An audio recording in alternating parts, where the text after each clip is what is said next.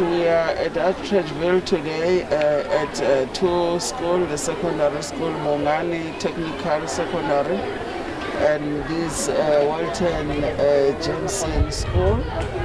Uh, we're coming here to present a donation that is coming from our friends, our 11, 10 embassies that has given us food.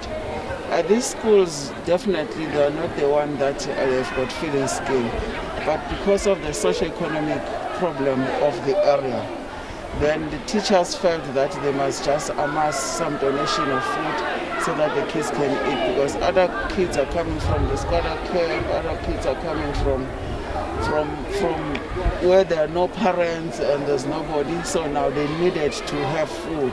They are quintile 4 the government is not supporting them but they felt that they need also to ask food.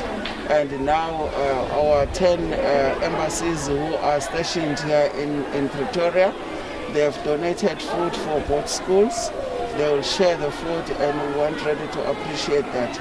I'm here to hand over on behalf of the 10 embassies that have donated this food. Uh, we really appreciate the visit by the Deputy Minister in terms of handing over the token of appreciation that was given by the 11 different embassies.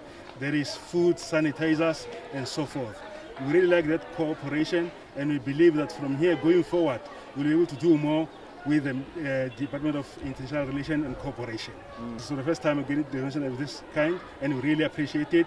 It's going to be of use to the learners. At the technical school, uh, we discovered that children are producing lots of things because out of their learning, but those things are lying there, and they are useful equipment that they have produced.